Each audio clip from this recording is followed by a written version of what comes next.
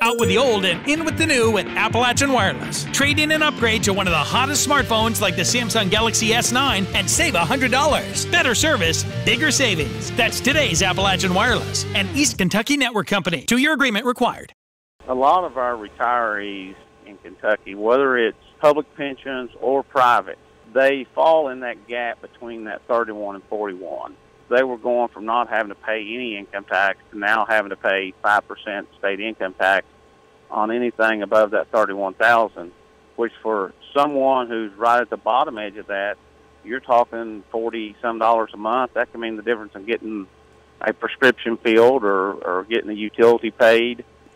I feel one, I made a promise on the floor of the house that I would do this, and two, I feel it's the right thing to do uh, for for our retirees that's worked so hard and for so many years, and now they're living on a fixed income. Um, and now we're trying to take part of that